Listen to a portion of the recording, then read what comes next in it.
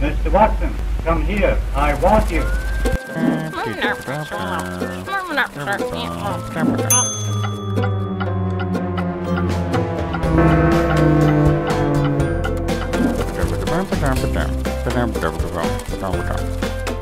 This is the.